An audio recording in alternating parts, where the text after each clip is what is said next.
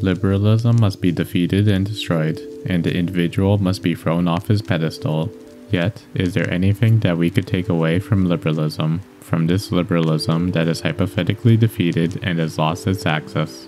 Yes, there is. It is the idea of freedom, and not just the idea of freedom for, that same substantive freedom rejected by Mill in his liberal program, which concentrated on the freedom from.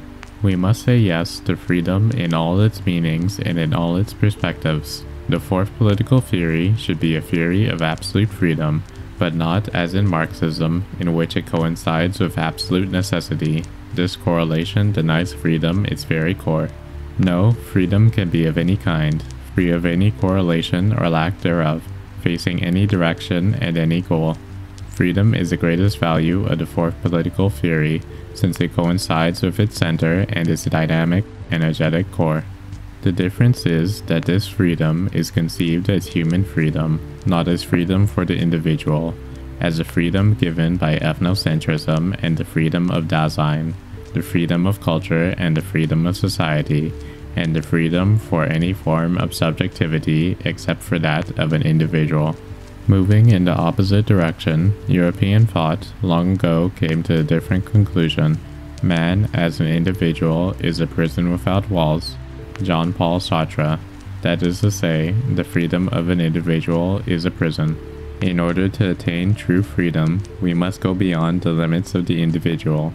In this sense, the fourth political theory is a theory of liberation, of going beyond the prison walls into the outside world, which begins where the jurisdiction of individual identity ends.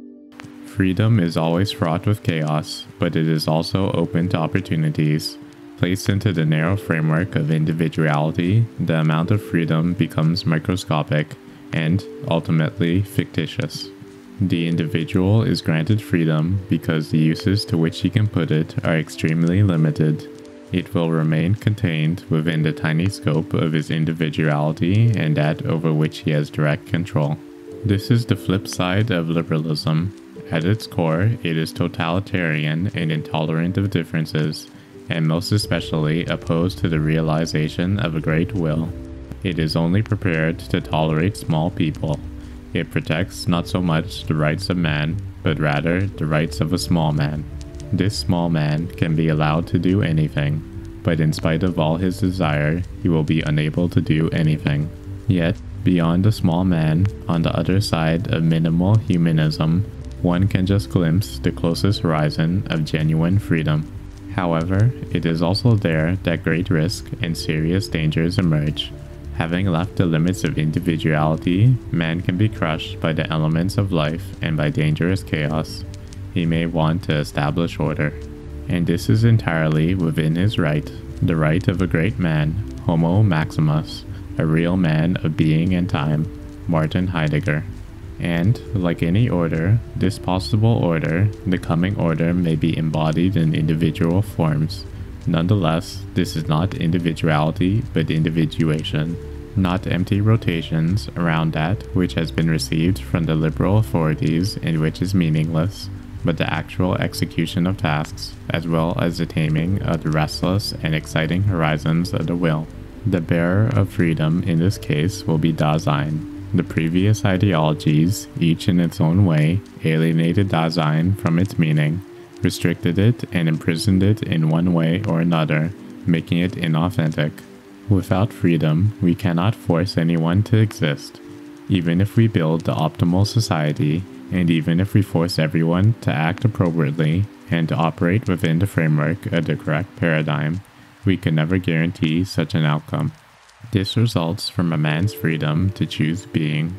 Of course, most often, man gravitates towards the inauthentic existence of Dasein, trying to dodge the issue, to succumb to gossip and to self mockery.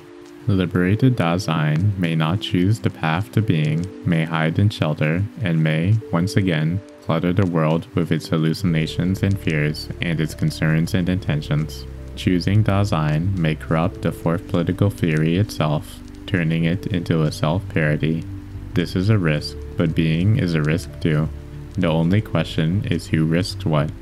You risk everything, or everything and everyone puts you at risk. Yet, only that which increases freedom will make the choice of authentic being a reality. Only then will the stakes be truly great, when the danger is infinite. Unlike other political theories, the fourth political theory does not want to lie, soothe, or seduce. Any strictly constructed ideology is always a simulacrum and always inauthentic. That is to say, it always is the lack of freedom. Therefore, the fourth political theory should not hurry in order to become a set of basic axioms. Perhaps it is more important to leave some things unsaid, to be discovered in expectations and insinuations, in allegations and premonitions. The fourth political theory should be completely open.